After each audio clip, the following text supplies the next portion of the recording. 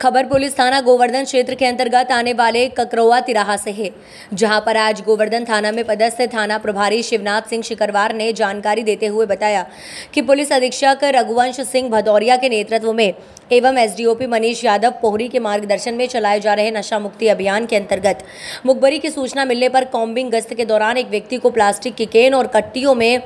अवैध हाथ भट्टी द्वारा निर्मित कच्ची जहरीली शराब को भरकर ले जाते मिला। जिसके बाद उन्होंने उक्त व्यक्ति से शराब रखने का वैध लाइसेंस मांगा, लेकिन उक्त व्यक्ति द्वारा लाइसेंस ना होना बताया। जिस पर से पुलिस ने उक्त व्यक्ति के संबंध में जानकारी प्राप्त की तो उसने अपना नाम विजय सिंह पुत्र तात्या बंजारा, उम्र बयालीस वर्षीय, बताया। जिसके बाद पुलिस ने आरोपी को गोवर्धन थाना लेकर आई, गिरफ़्तार करके, और उक्त आरोपी के विरुद्ध अपराध क्रमांक उनसठ बटा तेईस धारा चौंतीस दो आबकारी एक्ट के तहत मामला दर्ज किया गया। संवाददाता धर्मेंद्र शर्मा की रिपोर्ट।